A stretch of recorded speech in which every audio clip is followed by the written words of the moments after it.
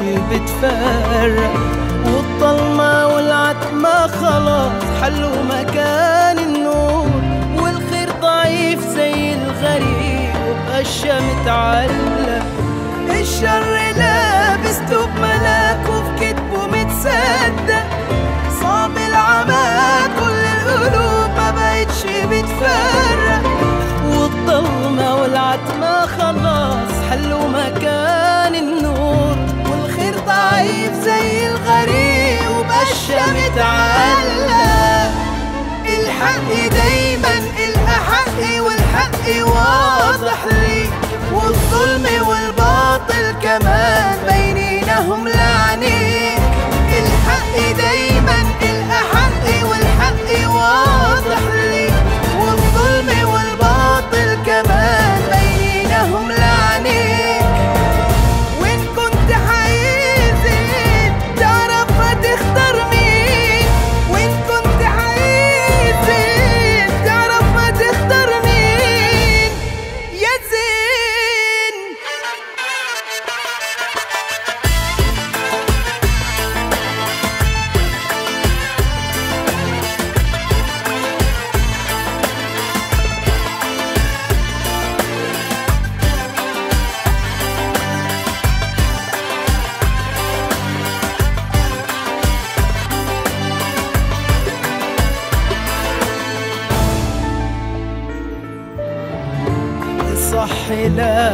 تعمله لو حتى مش عاجب ودعوة المظلوم سلاح من دعوته حاسب واثبت على السكة اليمين اثبت على الصالح.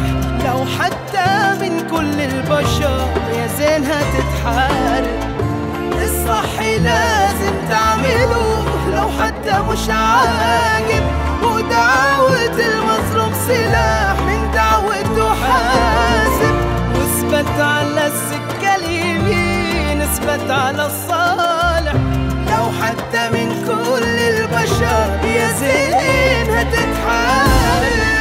الحق دايما الأحق والحق واضح لي والظلم والباطل كمان بينينهم لعنيك. الحق دايما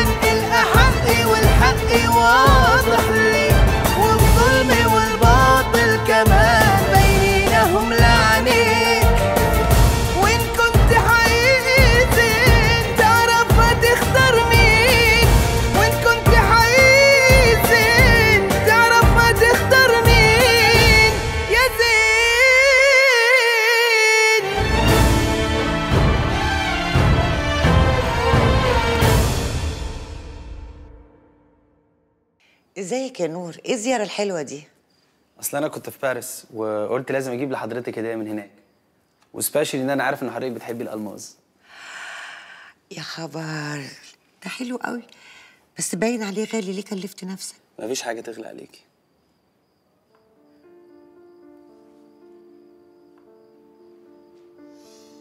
وحشتك يا نور؟ قوي. لسه بتحبها؟ بحبها وهفضل أحبها وما حبيتش حد غيرها. بس بصراحة أنا لسه عندي أمل. والأمل موجود. هو في مشاكل؟ فيروز كل يوم بتتخنق وبتندم على اللي هي عملته. هي ما بتتكلمش وما بتقولش. بس أنا حاسة بكل حاجة. يعني حضرتك حاسة انهم ممكن يسيبوا بعض أو حاجة؟ الله أعلم يا نور. بس اللي أنا شايفاه إن الجوازة دي مش هتعمر. لو ما سبتوش النهارده هتسيبه بكرة. لو ما سبتوش بكرة هتسيبه بعد شهر. المهم إنها هتسيبه في الآخر. 30 جنيه. منصور! منصور! يا حبيبي. منصور يا ولدي. الحمد لله على سلامتك يا حبيبي.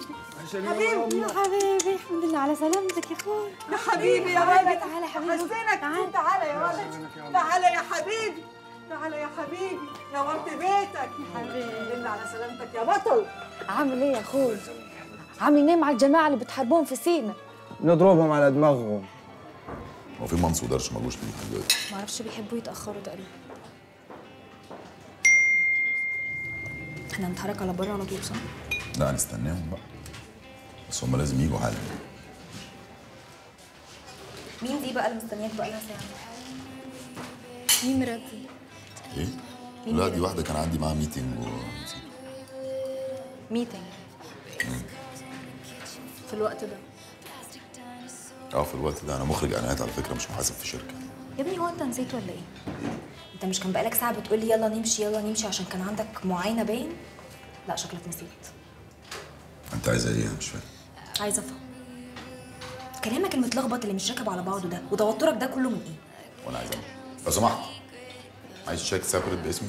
أنا مش همشي غير لما أفهم. وبعدين معلش وريني موبايلك. أنا عايزة أعرف هي بتبعت لك؟ 100 مرة إيدك ما تلمسش موبايلي ياسر أنت بتزق إيدي؟ المرة الجاية همتها ما تخليش اعلي صوتي. أنا ياسر بتقولي الكلام ده. أنا؟ ترضاها على نفسك؟ ترضاها واحد يكلمني في وقت زي ده ولما تيجي تسألني أرد الردود المستفزة اللي أنت بتردها دي؟ ترضاها؟ أرضى بأي حاجة بس بطلي غير السخيفة بتاعتك دي.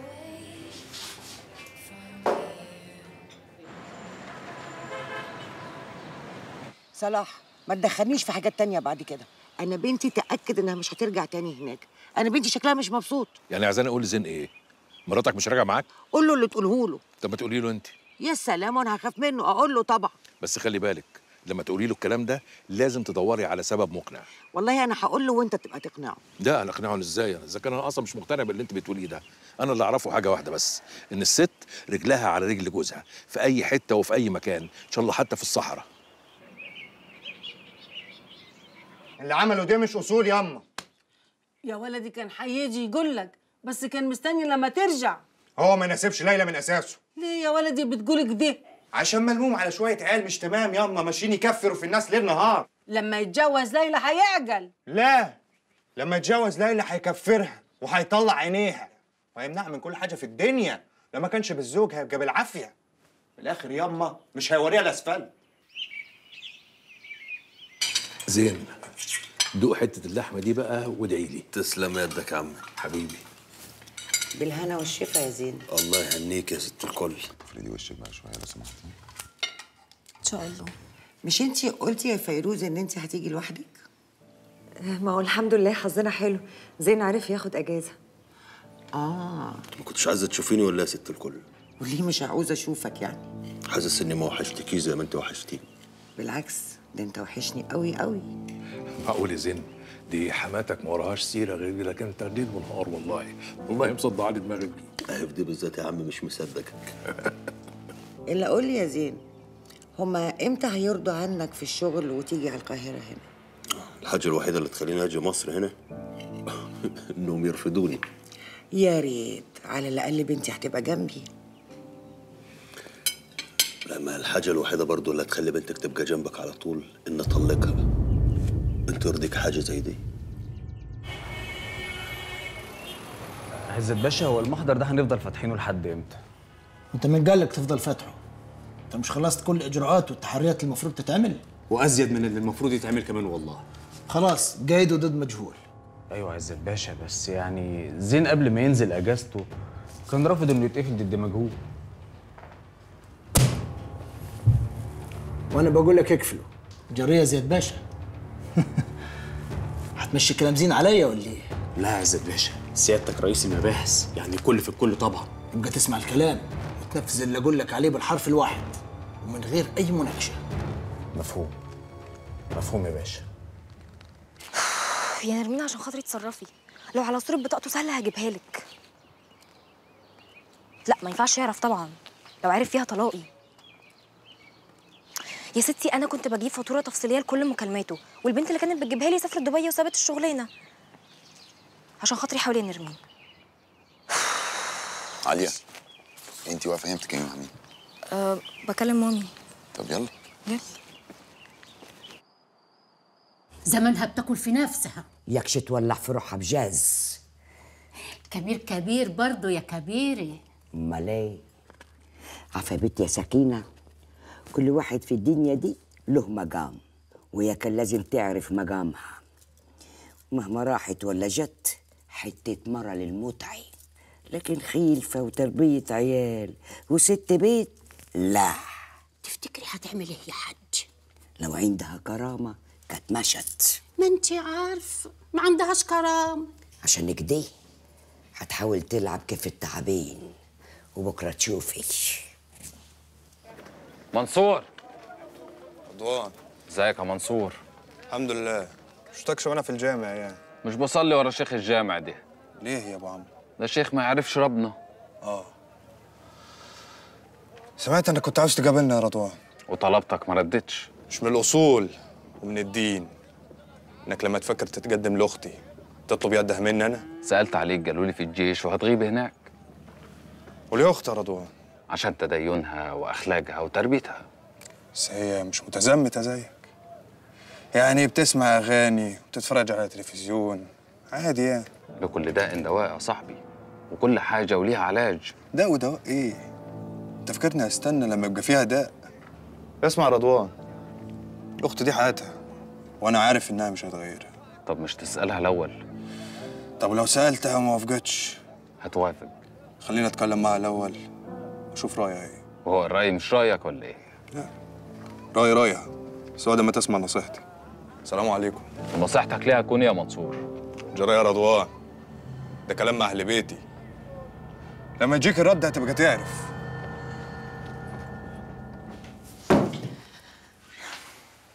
بقول لك إيه يا زين؟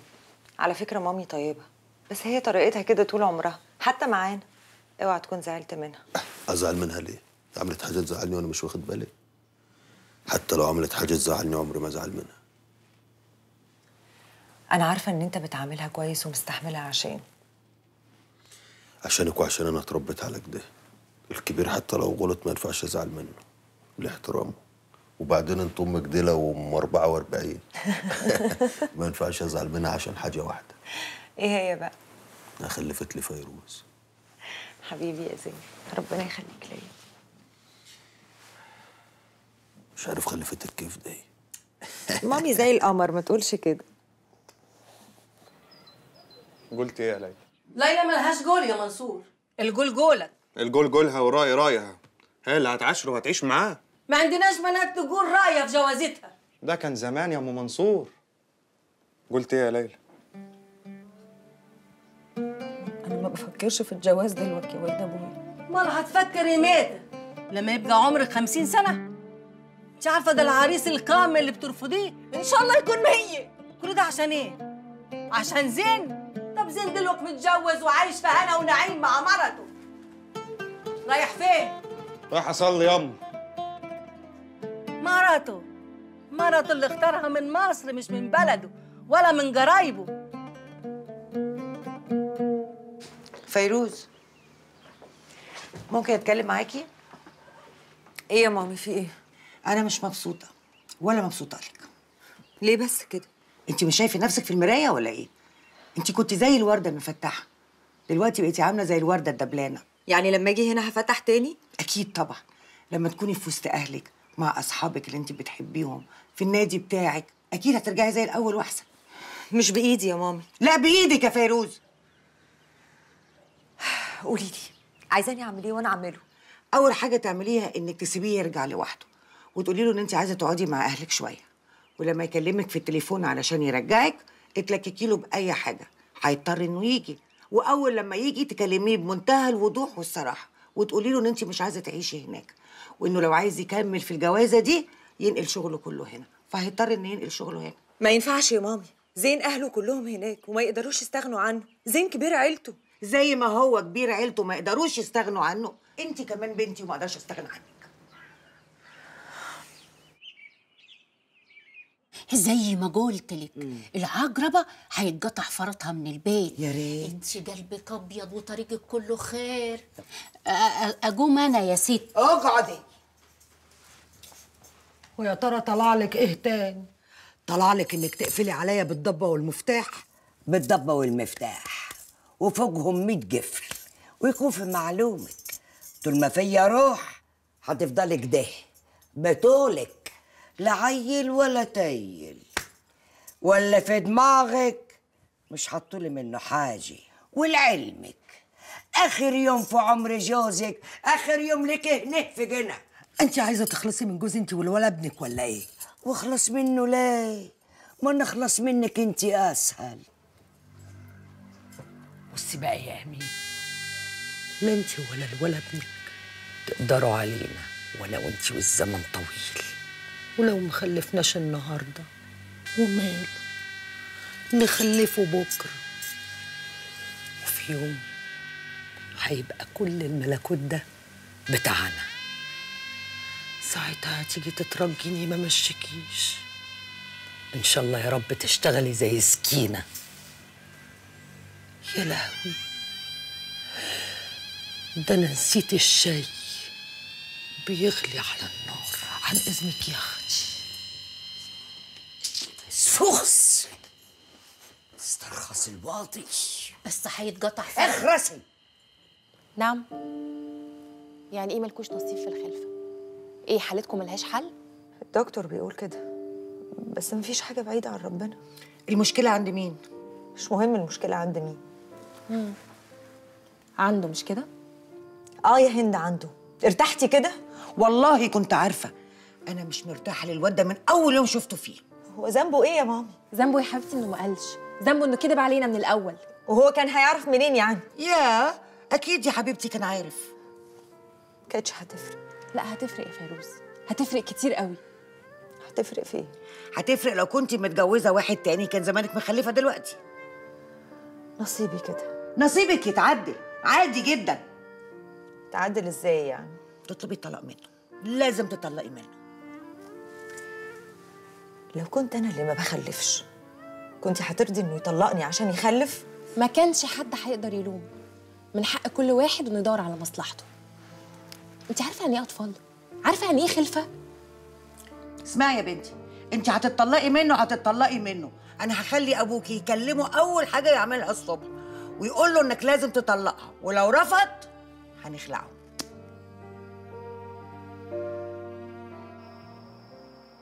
ما كانش ينفع تسكتي لها يا حاج. ومين قال لك إن أنا سكت لها عيني اللي حصل حصل قدامي.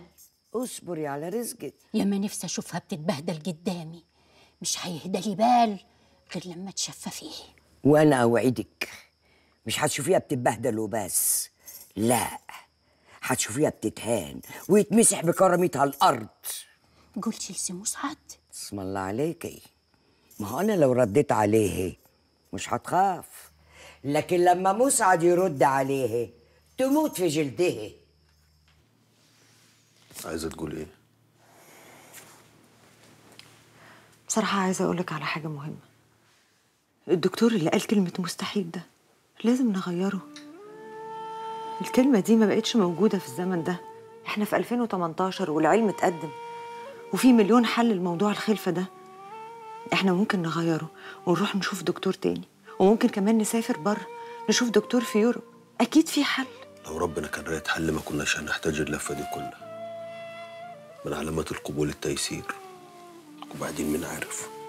يمكن نشقى ونتعب عشان نجيب واد ولا بنت يتعبونا وبعدين بصراحة بقى أنا مش عايز حد يشاركني فيكي. أنا لو خلفت عشرين طفل مفيش حد هياخد من حبي ليك عشان خاطري. أنا عايزة طفل منك.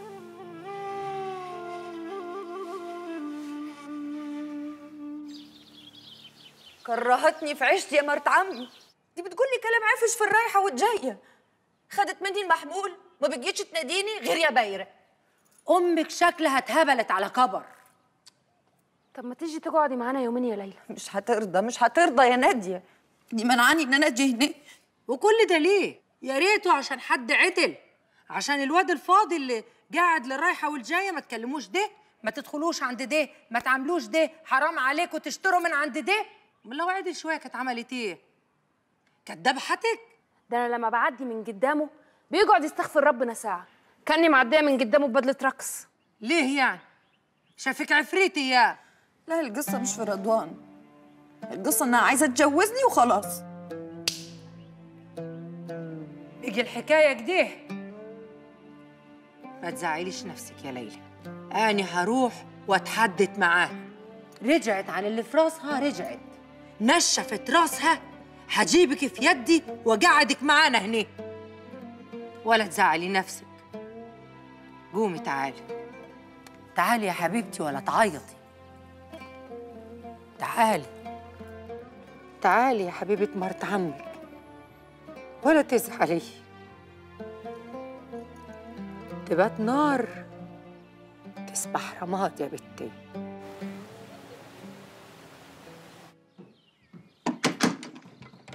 كنت فين؟ عديت على نادية شوي. مش قلت لك البيت ده ما تعتبهوش تاني؟ ريحي نفسك يما زين مش قاعد مسافر. قاعد مش قاعد. البيت ده رجليك ما تخطيهوش تاني. ولا على إيه؟ ما الأسهل؟ مالكيش خروج تاني. يعني هتحبسيني يما؟ آه يا ليلى هحبسك. وأول خطوة هتخطيها بره البيت ده هتكون لي بيت جوزك. والله هسيبهولك وأمشي. تعالي هنا يا بنت. تمشي تروحي فين يا روح أمك؟ انت فاكره نفسك متربيه في بلاد بره فوقي قبل ما أفوقك. يما حصل إيه يما بتضربيني يما واربطك في الكرسي كمان. طب الله يرحمه عمره ما عمل عشان كنت لسه بحجلك على أوضتك. وياك أشوفك بتعتبي براه. ومن هنا ورايح. الواكل وادخلي الحمام بالإذن. غوري تعالي أها. كل ما يمسكوا الواد يصرخ في يده. يقول إيش يده فيها عفريت؟ إيه يا ولاد الجناوي حبيبي يا ولدي. عامله يا ناديه بخير يا أخوي. ازيك يا فرحان هاتي الشنطه طلعيها على وحشتك يا أمه. نودي حبيبتي. حبيب. أمك. وحشتك قوي يا ماما. أهلا فطرت سعيد يا عاد. لا والله. الله أكبر. اللي مقعدك مع الفلتان ده هيفسد أخلاقك. يا أخوي داخل على الواد زي القطر. هو ولدك وإحنا ما نعرفش. طول عمرك حنين يا ولدي. ما يسكتش غير على دراعك. ربنا يخليك يا رب ويديني الصحة وطولة العمر. وأشيل خلفتك قادر يا كريم. طب أنا تعبانة شوية من السفر ومحتاجة أخد شاور عن إذنكم. روحي يا بنتي. جبت لي اللي قلت لك عليه؟ يا بت ده أنا أنسى اسمي وما أنساكيش. جبتهولك في الشنطة فوق أنزلهم لك دلوقتي. والكتب يا زين. جبت لك من مكتبة مدبولي. ربنا يخليك يا ولدي. ربنا ما يحرمنا منك قادر كريم الله يخليك يا أمه. سمي الله امسكي.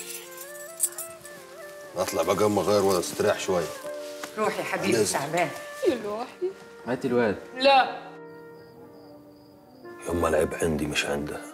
والموضوع ده ملوش علاج؟ لا ملوش علاج. وأنا راضي بقدر ربنا. محدش بياخد فوق ال 24 جراد بتوعه ربنا يرضيك يا ولدي. أقول لك إيه؟ عشان خاطر أنا يا ولدي. ما تزعلش نفسك وما تحطش في راسك. لا يجرى لك حاجة. ازعل نفسي من إيه يا أمه؟ ازعل نفسي من ربنا من قدره لو هبني حاجات كتير حلوة الشغلة اللي بحبها والزوجه الصالحة والأم الصالحة. والنعمة بالله.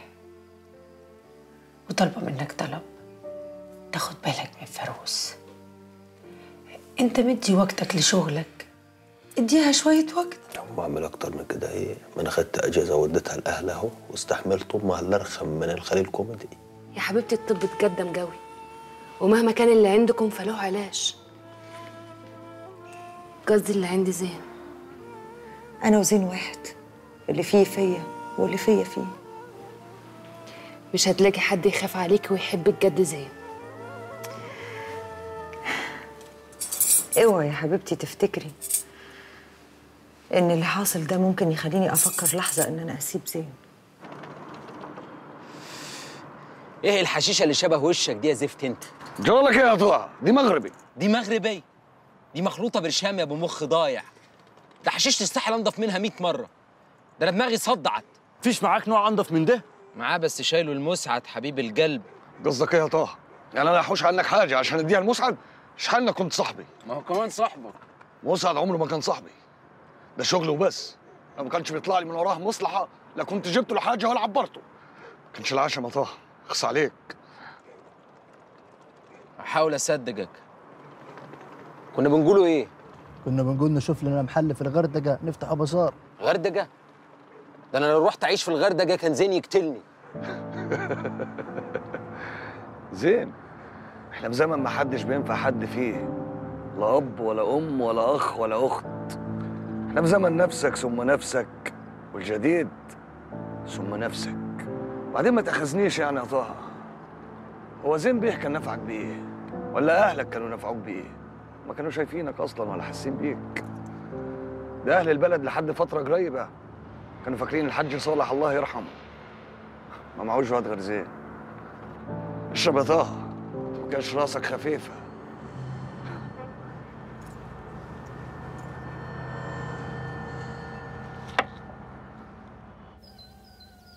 خير يا مرات عمي. ليلى جاهلة عريس. جاي هو وأهله يطلبوا يدها للجواز. ألف بركة. طب وإيه المشكلة في كده المشكلة منصور رفض العريس وهو ما بيكبرش لحد غيرك أنت. لو أنت وافقت هو هيوافق. طب ممكن أعرف مرات عمي مين العريس اللي منصور رفضه ده؟ رضوان ولد الحاج صبري. واد محترم ومتدين وما بيسيبش فرد. بصراحة مرات عمي منصور عنده حق إنه يرفض الواد ده مشبوه. سنتين الأخيرة دول مستشيخ وماشي في وسط جماعة غريبة والكلام عليه كتير. هو اللي يعرف ربنا اليومين دول. تقولوا عليه مشبوه. لا حول ولا قوة إلا بالله ما إحنا كلنا نعرف ربنا. ملناش صلاح بالكلام ده. طب إيه المطلوب مني دلوقتي يا مرات عمي؟ إنك تلين دماغ منصور وتحضر القعدة دي. حاضر يا مرات عمي هحضر القعدة. والله العظيم يا صفية لو أمك فضلت تضايق فيه لا هسيب لها البيت وامشي. ومفيش جنس مخلوق هيعرف لي طريق. كل ده عشان عايزة تفرح بيكي؟ أمك ما عايزاش تفرح بيا. أمك عايزة تخلص مني. حرام عليكي والله يا شيخ. دي ما حبتش حد جدك. اللي تكسى على بنتها كده تبقى ما بتحبهاش. أمك بقيت قاسيه قوي يا صفيه ما كانتش كده. بيجي كده بعد ما ابونا الله يرحمه مات. كان لازم تحافظ على البيت. كان لازم تحافظ علينا. أنا قلت اللي عندي وبكررها لك. لو فضلت تضغط عليه لا هتصحوا من النوم في يوم ما تلاقونيش. هتروحي فين يعني؟ هروح أي حتة. مصر اسكندرية أي حتة أعيش فيها مرتاحة. مصر ولا اسكندرية؟ هتعملي إيه انت في مصر ولا اسكندرية؟ أشتغل. أيوه أشتغل وأعيش مرتاحة. هو من أرتاح من أمك. يمكن أنسى زين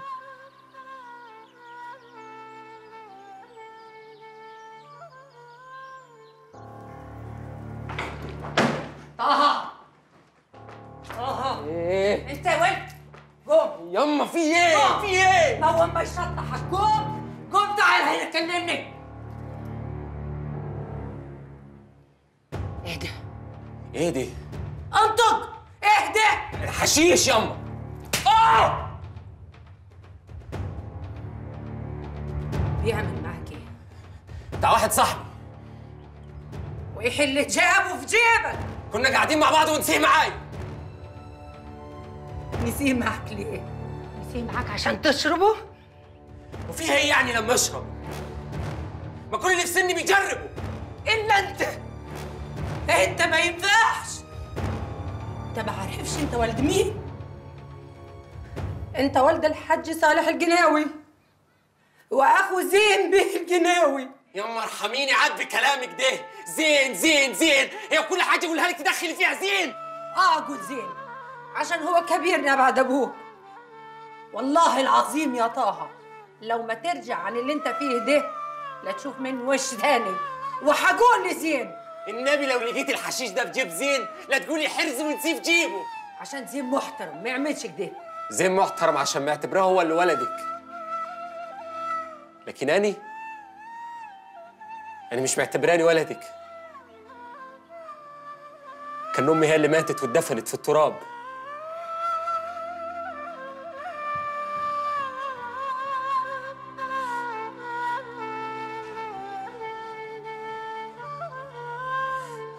كان له لزوم تكلفوا نفسكم حاج صبري. منورين. نورك يا ولدي الغالي الله يرحم أبوك. كل خير على الكبير وعلى الصغير. الله يحفظك كان بيحبك والله. نور يا رضوان. نورك يا زين. زين ومنصور يا أبوي زي ما أنت عارف عشرة عمر وزمايل دراسة. كبلنا مصايب كتير. آه والله يا حاج ما شاء الله عليه طول عمره مؤذي وبتاع مصايب. اللي أنت بتقوله ده. عيب الناس ضيوفنا عيب كلنا كنا اشقى وإحنا عيال صغيرة وربنا هدانا الحمد لله لما كبرنا. ولد العمر هادي وكان نسمة. يعني هو صغير كان نسمة ولما كبر عمل عملية وقلب رضوان. عروسة فين؟ القعدة بقى ده أمال العروسة فين؟ ربنا لسه بساله نفس السؤال دلوقتي. العروسه فين؟ أهي وصلت أهي. يا مرحبا يا مرحبا. منورين. أنا جاي النهارده أنا والوالد والوالدة علشان نطلب يد الأخت ليلى. وأنا مش موافقة. إيه يا زين. هتجوزني غصب عني؟ يا كلمة الرباية يا أما. كيف تتكلم يا أخوك ولد عمك قاعدين؟ مرات عمي. محدش هيتجوزك غصب عنك يا ليلى اللي بتقوله ده يا زين. مرات عمي إذنك عاد صبري. ما عندناش بنات منصور! جايبين تصغروني قدام الضيوف. أنا أسف يا رضوان. أنا أسف يا حاج صبري. أنتوا عارفين كل حاجة بالخناق إلا الجواز بالاتفاق وعيلة صغيرة لسه. من ناحيته ومن ناحية أمها هنلاقي دماغها ودون 48 ساعة فرصة للرد. السلام عليكم يا زين. وربنا ما تمشي لما تاخدوا الواجب. يلا يا رضوان يلا يا حاج. الواجب وصل. يا زين. يلا يا رضوان عيبك ده والله. يلا. طب اشربوا الشاي. شرفتونا ونورتونا حاج صبري. الله يحفظك رضوان. 48 ساعة أرد عليك يا رضوان إن شاء الله. في رعاية الله. لا حول ولا قوة إلا بالله. العلي العظيم مرات عمي يا مرات عمي وأنا اللي جايبك عشان تحل وتوعيها وعامل لي فيها كبير العيلة. كبير العيلة صح كان الحاج صالح الله يرحمه. لو كان موجود كان حلها. بس انت خسران إيه ما انت متجوز ومتهني. ومتجوز من مصر مش من أهلك وناسك. ما يصحش اللي بتقوليه ده ياما لا يصح يا منصور. أنا آسف يا مرات عمي. بس أنت لما جيت لي ما قلتليش إنها مش موافقة. عموما أنا آسف إني قعدت القعده دي عن إذنكم. يا زين. عاجبك اللي عملتيه ده؟ سيبني في حالي سيبني في اللي أنا فيه. مش هتجوزه مش هتجوزه. تعالي هنا تعالي هنا. تتجوزي مين؟ تعالي معايا. يا يا جلية الرباية. اطلع عليك يا اطلع فوق اطلع يا جلية الرباية.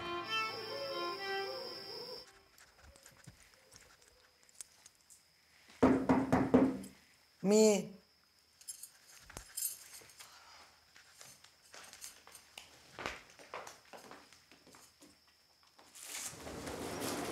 سي مساعد لازم تفهم إن ابويا جايبك للمزاج. يعني زيك زي الافيونه كده أي. أكتر من كده مالكيش عازة. وهو كان حصل إيه؟ يعني؟ حد داسلك على طرف. اللي يدوس لأمي على طرف كأنه ضربني 100 طلقة. هي اللي ابتدت. تعمل اللي هي عايزاه. وده في عرف مين بقى ده؟ في عرف البيت ده. ولو ما تعرفوش اعرفهولك ام ست البيت. وكلمتها تمشي على الكل. من حيطان الأرض للبشر اللي عايشين فيه. وده آخر إنذار ليكي. لو سمعتيها تاني كلمة ما عجبتهاش. مش هيبقى ليكي مكان وسطينا. اي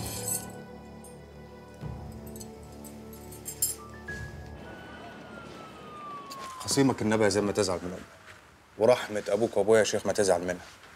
أنت عارف مرات عمك. تطلع تطلع وتعمل هلولة كبيرة وتنزل على ما فيش. أمك الوحيدة يا منصور اللي لو ضربتني بالبلغة ما ازعلش منها. ده اللي مربياني ياض والله هي ما عايزة حاجة في الدنيا ديت غير إن هي تجوز ليلى وصفية وتطمن عليها. هو أنا اللي واقف في طريق جوازهم يا منصور؟ محدش قال كده. أنا عارف إن غلاوتهم عندك من غلاوة نادية تمام. ورب الكعبة ويمكن أكتر. كل اللي بتمناه من ربنا إن الثلاث بنات يتجوزوا أحسن جوازات بس بالعقل مش عشان أمهم عايزة تجوزهم نرميهم كده وبعدين ما أنت شفت العريس؟ ده مشروع إرهابي قد الدنيا. ده مش بعيد كان ضم أختك للسبايا زين باشا محتاج حضرتك ثانية واحدة. خير يا امين رضا. اتكلم ده منصور واد عم أنا هو واحد. عملت زي ما قلت لي بالظبط. وصلت لإيه؟ الجتيلة كانت شغالة ببيت هتلر من سبع شهور. متأكد من الكلام ده؟ كل اللي شاف صورتها جاله كده سبع شهور. أنا طلعت من بيت هتلر وهي حامل في التاني. وهتلر عنده ديب في البيت اسمه مسعد. دي واضحة زي الشمس يا رضا. وربنا وشك حلو يا واد عمي. كمل شاك وروح انت. عندي مشوار مهم. تعالى معايا قول لي وش حلو في إيه؟ أقول لك بعدين. الشحنه كده تمام يا أبوي الله يرضى عليك يا ولدي. معاود المباحث زين صالح القناوي بره. وعاوز حضرتك. أعوذ بالله من الخبث والخبائث. وده عاوز إيه ده؟ قعدوه شوفوه يشرب إيه لغاية ما اجيبه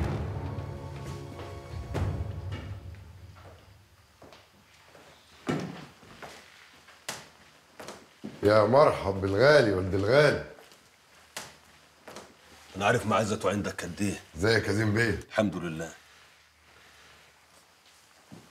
ازيك يا ابو سعد بيه؟ ازيك يا زين بيه؟ الحمد لله. اتفضل. زيد فضلك. خير يا زين بيه. خير إن شاء الله. ما عارفش حضرتك تعرف ولا لا. الخدامه اللي كانت شغالة عندكم اللي اسمها مريم اتقتلت. قتلت ولا ماتت موتة ربنا؟ إحنا مالنا؟ كان من بقيت عيلتنا. لا يا مسعد بيه بس هي اتقتلت وهي حامل في التاسع. وانتوا مشيتوها من البيت هنا من حوالي سبع شهور. يعني حملت في البيت ده. وللعلم إن اللي بطنها طلع عايش. سبحان الله. ده من بخت أبوه. وعرفتوا اللي قتلها؟ اسأل ولدك.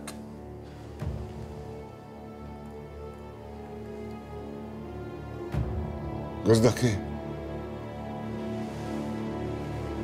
انت اتجننت يا ولد صالح؟ جاي تتهم والدي بجريمة قتل وفي بيتي؟ ما قالولكش إن ما في ظابط يقدر يجرب 10 كيلو من البيت ده؟ لا فيه اسمه زين صالح الجناوي بينه وبينك خطوة وبيقول لك لو ولدك طلع اللي عاملها ورحمة صالح الجناوي لو وصلوا بيد الحبل المشنقة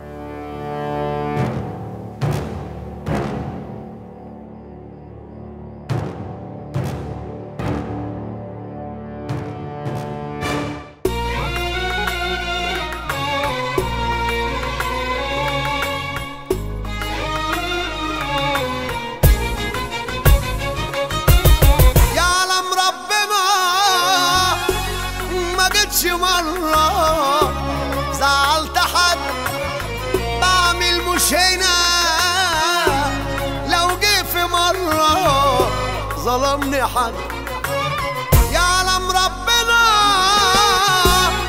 ما جيتش مرة. زعلت حد بعمل مش هنا مش هنا. لو جه في مرة ظلمني حد ده كلام هينفع ولا الندم أصبح يفيد إلزام حدودك لو قصاد نسر الصعيد.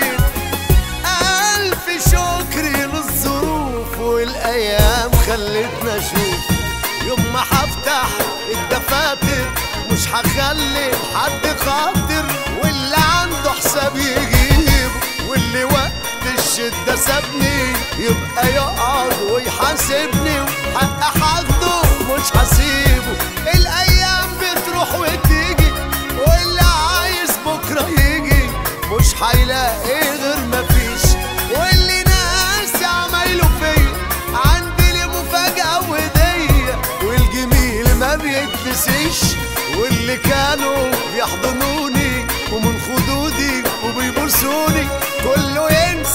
كان زمان قلبي أصله معبي منكم.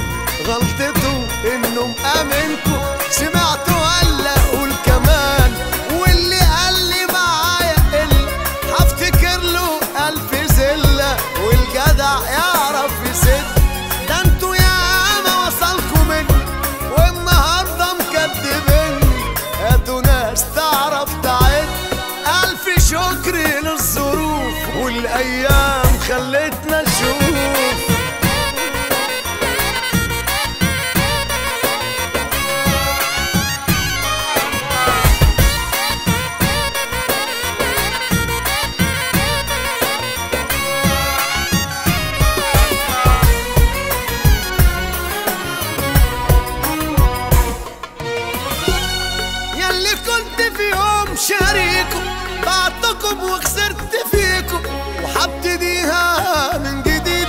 ده أنتوا أفعالكم غريبة والخسارة لو قريبة. أحلى من مكسب بعيد والطمع دايما مليكوا خدتوا مال الدنيا ليكوا بكرة تمشوا وحسبوا والمبادئ بتباعوها والاصول فجأة نسيتوها.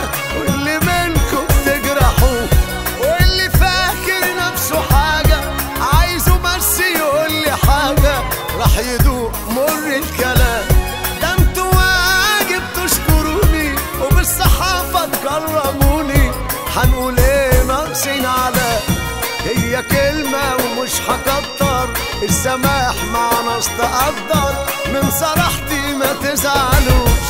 لو نسيتوا أنا لسه فاكر كل يوم بكتب وأذاكر والرخيص ما بغلهوش. ألف شكر للظروف والأيام خلتنا نشوف. يعلم ربنا